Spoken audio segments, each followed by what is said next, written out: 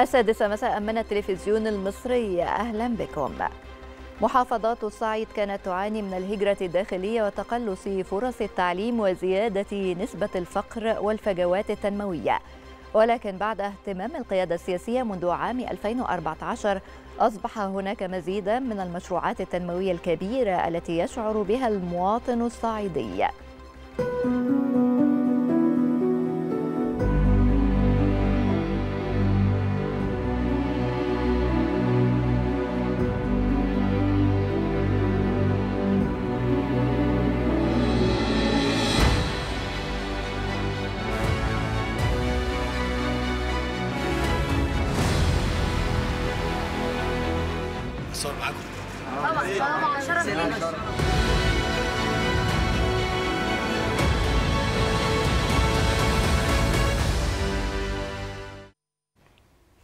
وجه الرئيس عبد الفتاح السيسي بالتعجيل بإعداد حزمة لتحسين دخول العاملين بالجهاز الإداري للدولة وأصحاب الكادرات الخاصة اعتبارا من أول إبريل 2023 بحيث يزداد بموجبها دخل الموظف بحد أدنى ألف جنيه شهريا.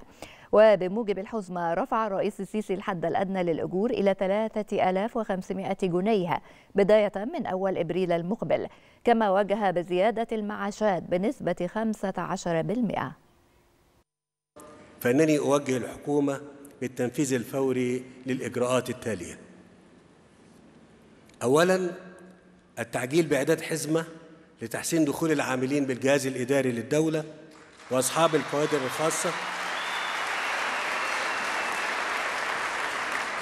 اعتبارا من أول إبريل 2023 بحيث يزداد بموجبها طب أقول لكم بس الكلام عشان هتسقفوا ولا ما تسقفوش؟ طيب بحيث يزداد بموجبها دخل الموظف بحد أدنى ألف جنيه شهريا. ثانيا ثانيا زيادة الحد الأدنى للأجور للعاملين بالدولة وذلك على النحو التالي.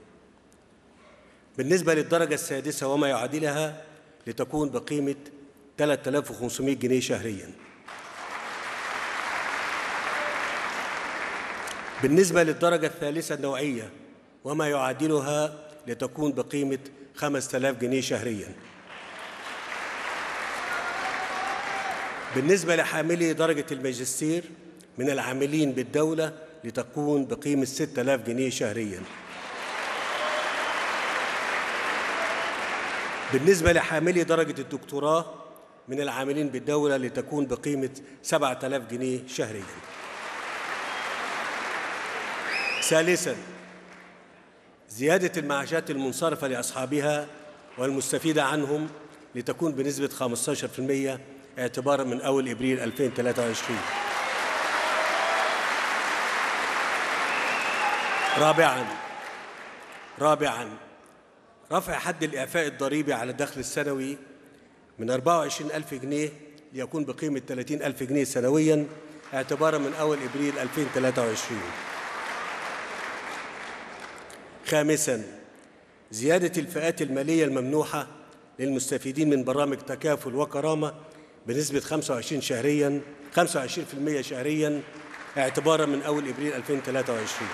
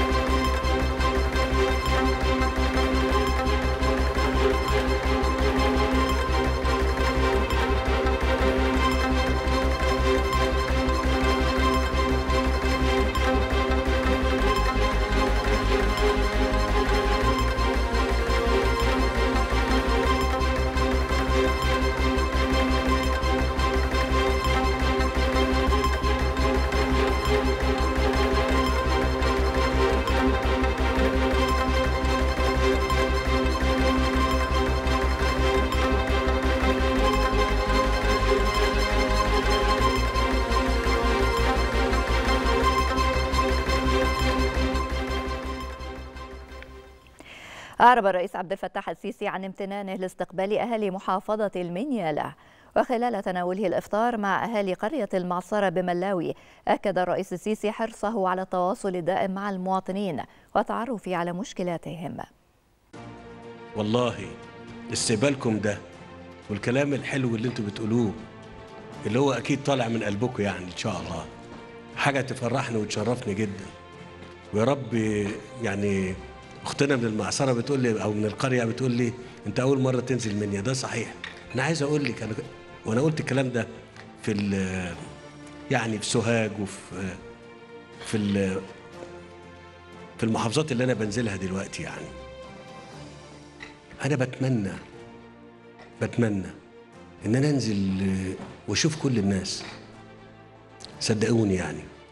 لأن أنا بحب الناس وأنا كمان زي الناس زيكم كده. آه. آه صحيح يعني. يعني مش آه، مش في برج كبير ولا حاجة. شهد الرئيس عبد الفتاح السيسي افتتاح عدد من المشروعات الجديدة بمحافظة المنيا عبر تقنية الفيديو كونفرنس حيث شهد افتتاح مصنع تدوير المخلفات وإنتاج الوقود البديل. كما شهد طريق المنيا ديروت الصحراوي الغربي بعد تطويره. وشهد أيضا افتتاح محطة معالجة مياه الصرف الصحي بالمنيا الجديدة. كما شهد افتتاح المزرعة النموذجية لتربية المواشي.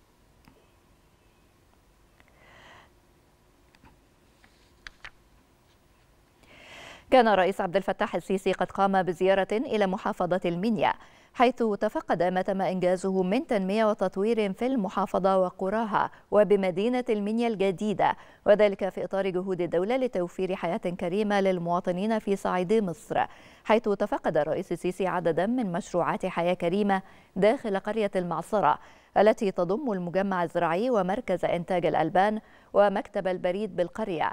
كما تفقد الرئيس السيسي مكتبة حياة كريمة داخل مركز الشباب بالقرية وشهد اصطفاف أكثر من 2500 متطوع من التحالف الوطني للعمل الأهلي بقرية المعصرة. وخلال الزيارة شهد الرئيس السيسي افتتاح عدد من المشروعات الجديدة بمحافظة المنيا عبر تقنية الفيديو كونفرنس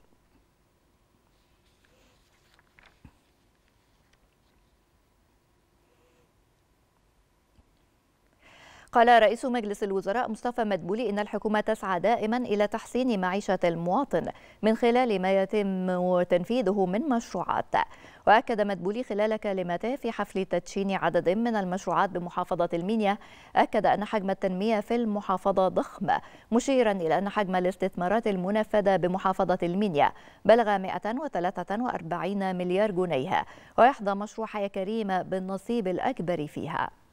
المشروعات مش ليس فقط لإنها تكون مشروعات ون- ونباهي إن إحنا بننفذ مشروعات لكن نصب أعين الدولة و- والقيادة السياسية اللي بتتابعنا يوم بيوم هو إزاي إن إحنا بنحسن مستوى معيشة المواطن. وده أهم شيء وده اللي كانت الرسالة اللي يمكن سيادة الرئيس قالها يوم آه، تواجده في سوهاج من في شهر يناير الماضي إن هو بيؤكد وبصورة قاطعة إن إحنا هنستمر إن إحنا نضع صعيد مصر على قمة الأولويات والحقيقة فعلا يعني الكلام ده منعكس ومترجم بصورة حقيقية من واقع إن مشروع أو المبادرة العظيمة مبادره حياة كريمة يعني الصعيد في المرحلة الأولى هو اللي له نصيب الأسد من عملية التنمية. الحقيقة حجم الاستثمارات اللي اتنفذت في محافظة المنيا 143 مليار جنيه وبيحظى مشروع حياة كريمة بالنصيب الأكبر منها. ومعاها بعض المشروعات الأخرى اللي هنستعرضها مع حضراتكم ولكن هو ده حجم التنمية اللي اتعمل. واسمحوا لي إن أنا أستعرض ثلاث محاور رئيسية. التنمية البشرية تنمية الإنسان والتنمية الاقتصادية عشان نخلق فرص عمل وأنشطة لشبابنا يقدر يشتغل فيها وتنمية المكان عشان نحسن من مستوى معيشة المواطن.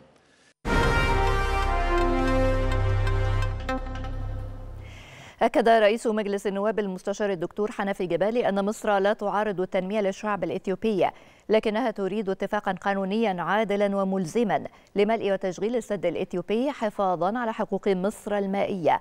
التي تمثل مسألة وجود وحياة للشعب المصري. جاء ذلك خلال لقائه رئيس مجلس الشعب الصومالي آدم محمد نور حيث أكد رئيس مجلس النواب حرص مصر على دعم الصومال الشقيق واستقرار أوضاعه في كافة المجالات خاصة مكافحة الإرهاب مشيرا إلى حرص مجلس النواب على تعزيز العلاقات البرلمانية المصرية الصومالية خاصة فيما يتعلق بنقل الخبرات البرلمانية المصرية للبرلمان الصومالي.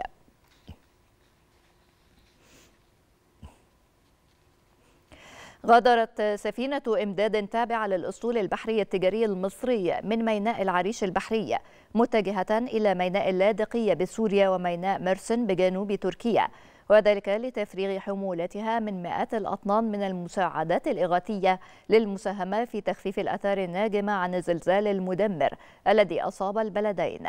يأتي ذلك تنفيذا لتوجيهات الرئيس عبد الفتاح السيسي القائد الأعلى للقوات المسلحة باستمرار تقديم المساعدات الإغاثية إلى كل من سوريا وتركيا في إطار الدعم والتضامن المصري مع أبناء الشعبين في أعقاب الزلزال المدمر بكلا الدولتين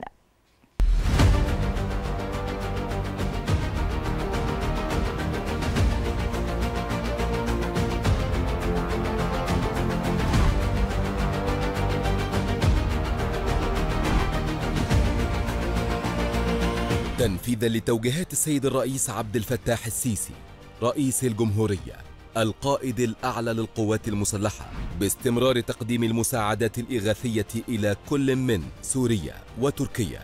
في إطار الدعم والتضامن المصري مع أبناء الشعبين أعقاب الزلزال المدمر بكلتا الدولتين.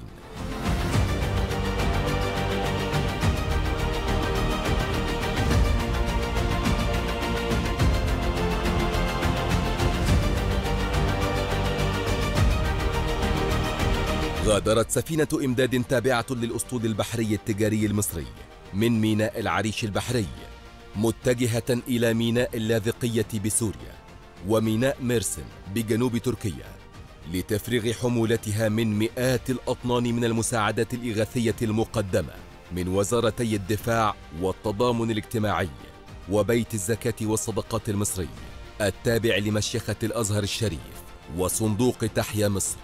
ومن المقرر دفع تلك المساعدات إلى المناطق المنكوبة بسوريا وتركيا للمساهمة في تخفيف الآثار الناجمة عن الزلزال المدمر.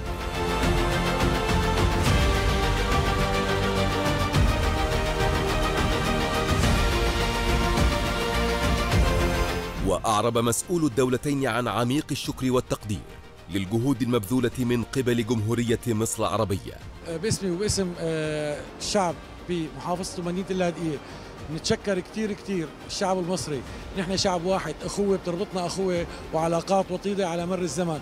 نحن بنشكرهم من القلب على هالمبادرات وعلى الوقفة الوطنية القومية الشجاعة مع أهلهم بسوريا ومع أهلهم بمدينة اللاذقية تقديم هالمساعدات لحتى نطلع من هالمحنة. وإن شاء الله مستمرين مع بعض إيدي بإيد ونرجع على اللاذقية إن شاء الله أحسن. وذلك تزامنا. مع زيارة السيد سامح شكري وزير الخارجية لتركيا وسوريا في إطار التضامن المصري مع كلتا الدولتين. أعقاب الزلزال المدمر. حديثي مع معالي الوزير على الأولويات لدي أشقائنا في تركيا فيما يتعلق باحتياجات من مساعدات وسوف نعمل على توفير ما نستطيع منها. لمواجهة هذه الكارثة ورفع بقدر الإمكان الآلام للمصابين وتوفير سبل الإعاشة لهم. تأتي تلك المساعدات استمرارا للدور المصري الرائد تجاه مختلف الدول الشقيقة والصديقة وتقديم الدعم والتضامن الدائم في أوقات المحن والأزمات.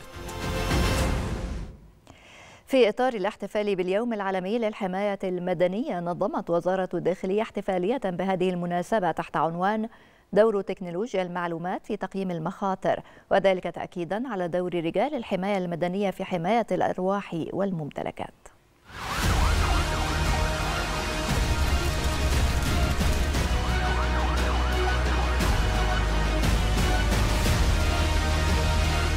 تزامنا مع الاحتفال باليوم العالمي للحماية المدنية الذي يواكب الأول من مارس من كل عام نظمت وزارة الداخلية احتفالية بتلك المناسبة تحت عنوان دور التكنولوجيا في تقييم المخاطر بمقر الإدارة العامة للحماية المدنية. اليوم دوت بنحتفل بيه وبنبرز وبنظهر في في الاحتفالية دور الحماية المدنية في المجتمع وإن هو الهدف الأساسي منه حماية الأرواح والممتلكات. شهدت الاحتفالية حضور ممثلين عن أطياف المجتمع كافة حيث أدى رجال الحماية المدنية بيانات عملية متنوعة أكدت على التطور في أدائهم واستيعابهم للمهام الموكلة إليهم بكل احترافية.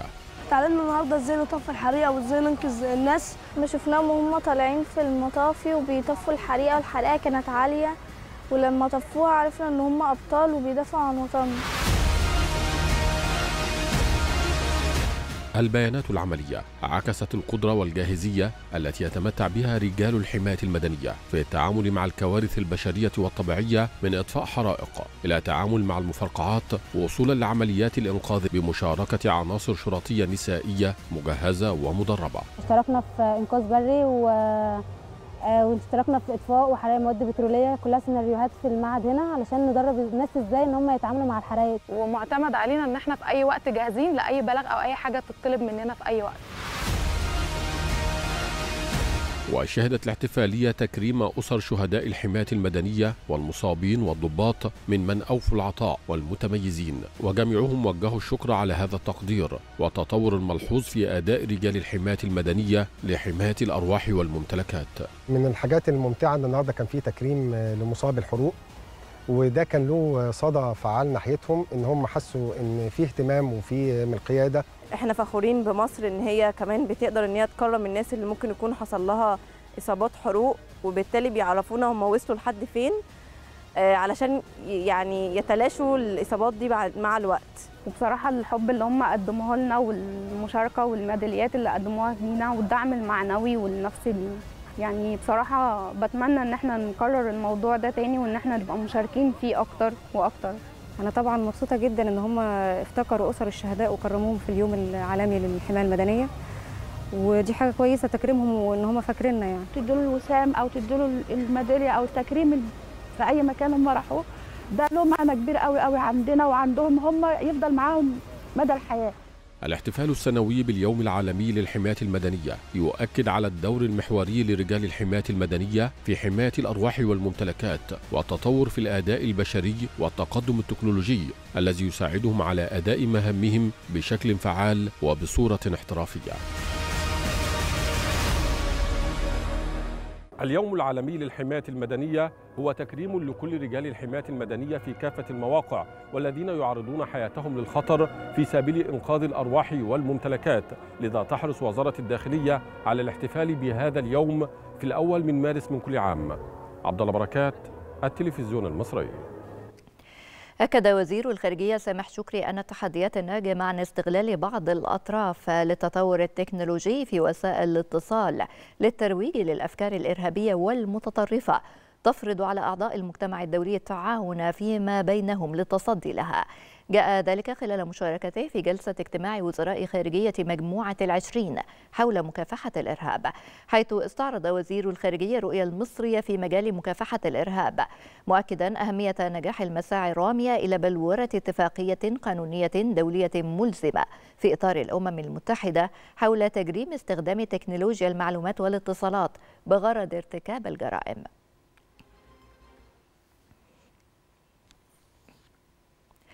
التقى وزير الخارجية الأمريكي أنتوني بلينكن بشكل مقتضب. وزير الخارجية الروسي سيرجي لافروف على هامش اجتماعات مجموعة العشرين. وأفاد مسؤول أمريكي أن بلينكن أبلغ لافروف في أول لقاء من نوعه منذ بدء الحرب في أوكرانيا قبل عام بالتزام الولايات المتحدة بدعم أوكرانيا. وأشار المسؤول الأمريكي إلى أن بلينكن ضغط على روسيا للتراجع عن قرارها بتعليق معاهدة ستارت النووية الجديدة.